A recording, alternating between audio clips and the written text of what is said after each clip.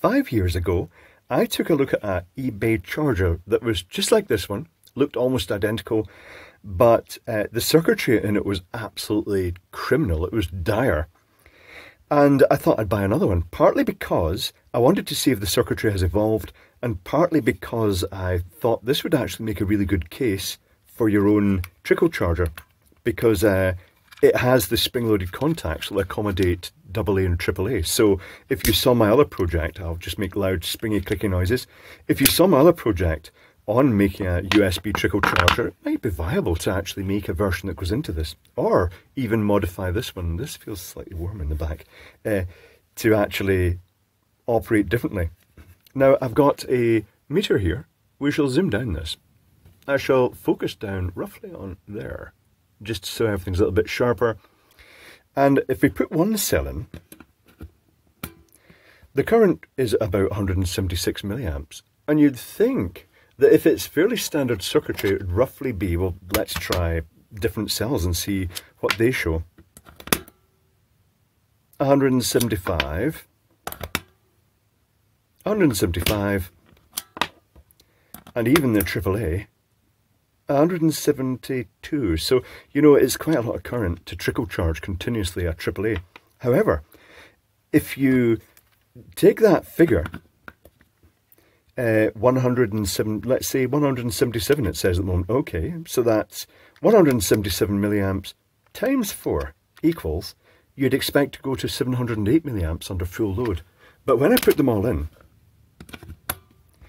it actually only goes to about 450 milliamps. So I'm not sure what circuitry is in here. Are they using a common shared resistor? Or is it just the resistance of this cable that's affecting that? I mean, it's not a bad thing. It means that uh, as the number of cells goes up, it's going to put less strain on your power supply. Not that, you know, half an amp, or even if it had been the 700 milliamps, it wouldn't have been an issue. But anyway, I digress. Let's do what we're here for and whip the back off it. Is that screwdriver going to fit? Oh, it's barely going to fit. And we'll see what's inside, and if it's improved, I'll take that. I'll take my precious, posh nickel metal hydride cells out first. This is designed for nickel metal hydride or nickel cadmium if you still have any.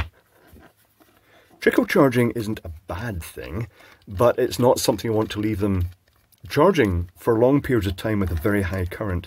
That's why my version uh, only charged at about, say, 20 milliamps or something like that. Can't even remember what it charged at. Let's see if the circuit board is different. Let's see if it explodes into pieces when I take it apart. No, it doesn't.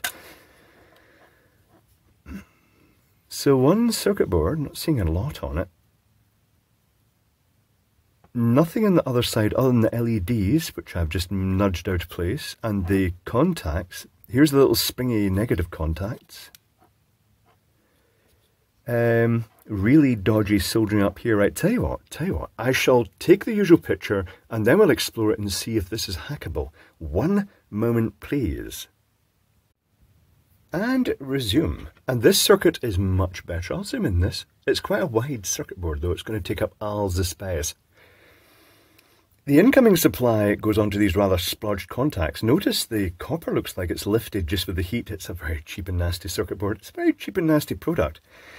They've soldered this wire on, but then out of impatience, uh, they've kind of let it go before the solder's uh, cooled down completely, so it's spread a bit. Doesn't really matter. We get the positive coming on here and we get the negative just going round to all the negative contacts of the cells. The positive goes to these two resistors in parallel, both roughly 5.1 ohm. This one is strangely accurate, 5.11 ohm, 5R11. And then there's a wee tiny one with the same rough value, 5.1 ohm. I'm not sure why there's two different sizes. And then it goes to a common positive bus that has a 18 ohm resistor going to the positive contact for the main current, and then a 150 ohm resistor, 151, 15 and 10, in series with the LED, then also going to that contact, and that is just repeated four times. Let me show you the schematic.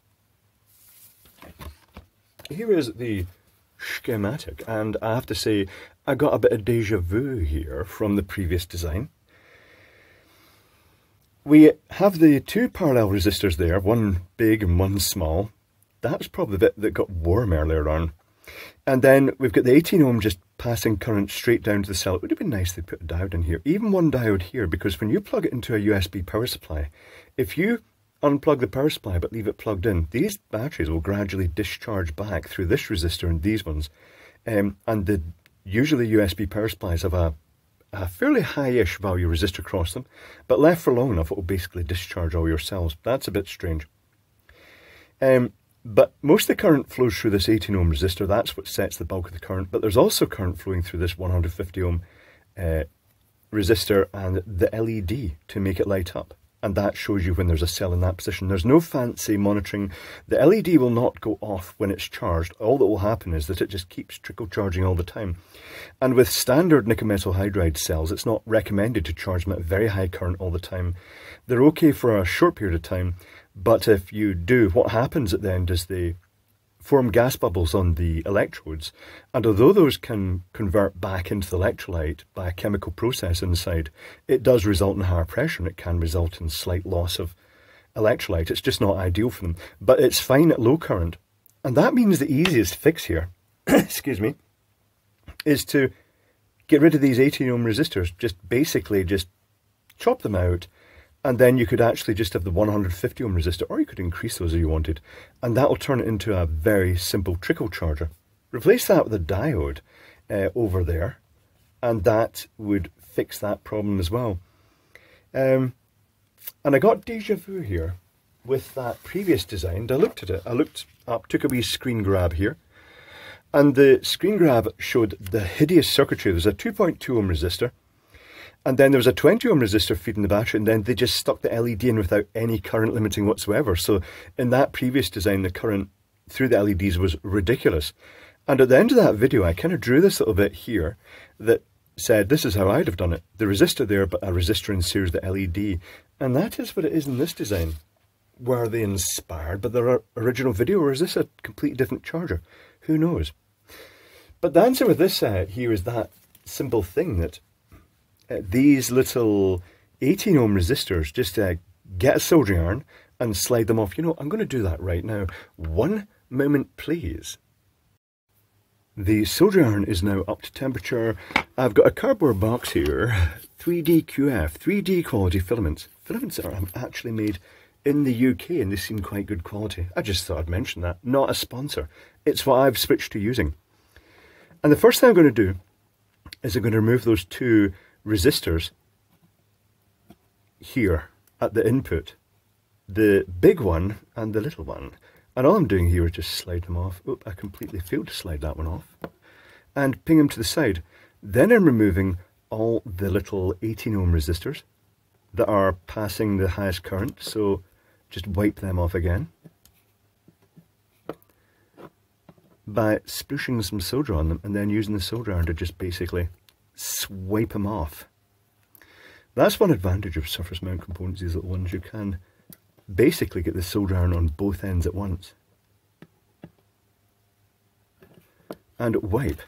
Okay, now I do have a Schottky diode. I'm going to have to use a magnifying glass to make sure I've got this Schottky diode the right way around. But what I'm going to be doing here, I'm going to be using my magnifying glass to check that. There is a little splash of solder. No, it's fine have I definitely removed those resistors completely. They're not stuck to the circuit board somewhere. I'm going to put uh, the diode here and the Schottky diode.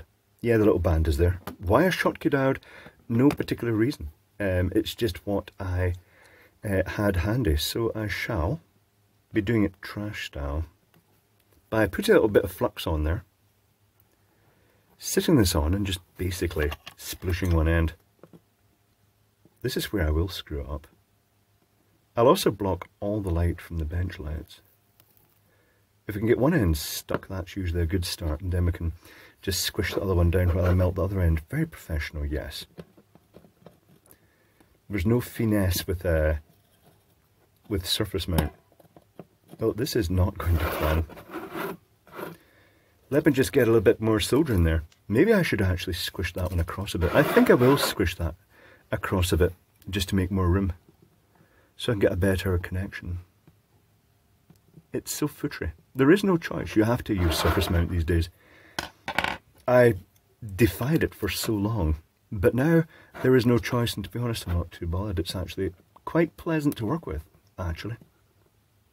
That's nice. So once I've done that end, let it cool down, I'll just reflow a tiny touch of solder on the other end, and that will be it in place. Now, theoretically, if I remove this out the way, and I plug it back into the tester, when I put the cells in, uh, the current should be much lower. It'll be probably about 15 milliamps. I'm not sure. Where is the power supply? There are numbers all over the power supply because each time I charge it, I write the capacity that went into it. So at the moment, uh, showing zero current. Pop a cell in. LED lights up. It's showing 10 milliamps. That's ideal as a trickle charger. That's all right. And it should kind of show that for each and every single one of these. So it's now up to 19, now up to 29, and now up to 38. So roughly 10 milliamps. And all the current is now going through the LEDs. To show you that on the drawing, um, since I removed moved those, and I've put the diode in here, is a little Schottky diode. I should draw that in as a little Schottky diode.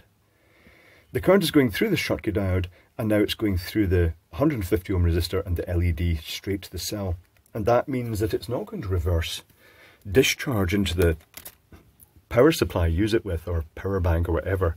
Um, and at that current, it's just going to be ideal for topping cells up or just leaving them on a permanent, just a, a gentle trickle in the background so they're ready for use and uh, fully topped up to the hilt.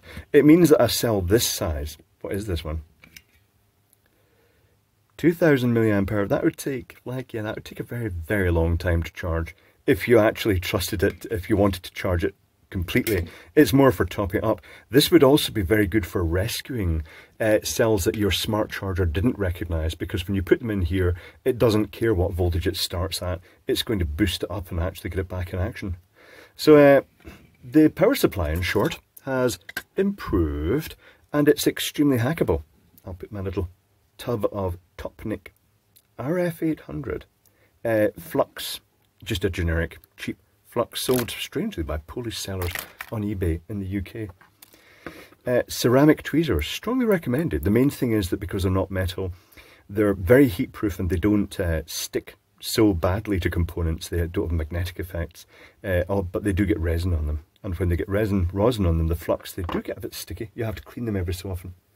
I'd say that's a success for the conversion that I wanted to do, and that is basically just converting this from the original fairly high current uh, charger into just a basic little trickle charger, ideal for just topping cells up. So that's a good result.